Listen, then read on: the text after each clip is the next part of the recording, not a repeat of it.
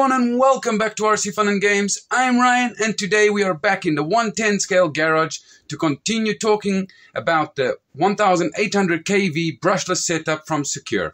So in the last video I took it out for a test after installing it and I was so impressed with the overall performance from this system.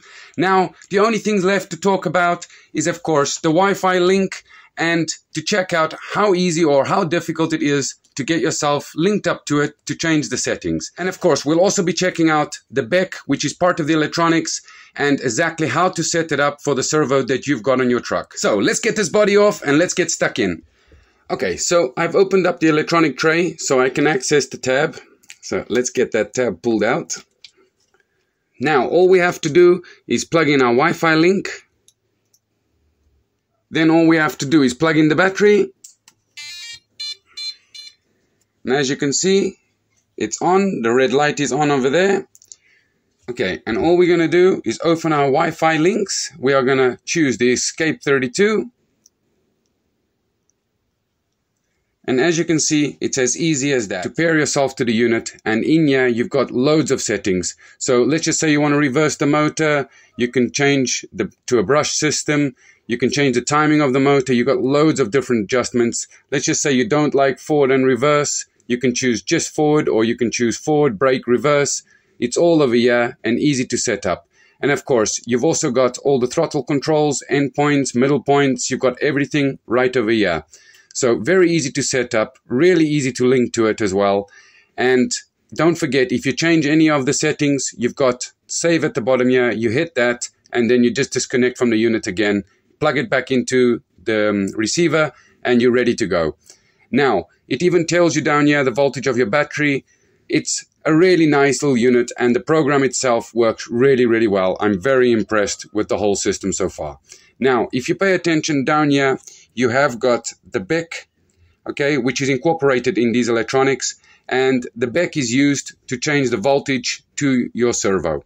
Now, depending on the servo you're running, you would want to change it from 5.5 to 6.5, 7.2s, 8.2, or even 12 with this unit. So that's insane. It's got loads of power. Depends just on what servo you're running. For example, I'm running an Epsima Combat Series. Okay, so this one over here can only run on 6 volts, but changing it through here is not going to change the settings. In the future versions, yes, you'll be able to change it through the Wi-Fi link. But at the moment, you have to change it by soldering two little tabs together on the electronics. Okay, so I'm going to show you over here. I've had to cut this little piece away so I could solder. But basically, you've got these three little tabs. You see them over there? One says 6 volt, one says 7.2 volt, one says 12 volt. Now, to be able to use the 6 volt, you only solder that one together. Because my servo is only a 6 volt, I've only sol soldered that one together. Let's just say yours is a 7.2 volt, you solder the middle one together. If yours is the 8 volt, you solder the 6 and the 7.2 volt together. And if you're running a 12 volt servo that you want that extra power, you solder all three together to be able to get the extra power from it. Now, it's really easy to use, really easy to set up. If you're not experienced at soldering, it's going to be a bit tricky, but I haven't got that much experience. I've only been doing it for a few years, and it was relatively easy to bridge that little joint and get it to run on 6 volts. So now basically I might as well close it back up and turn it all off. So I'm just going to exit the app. And then I'm going to unplug the battery again. I can just unplug the Wi-Fi unit. Okay, now all I got to do is put the tab back in its place.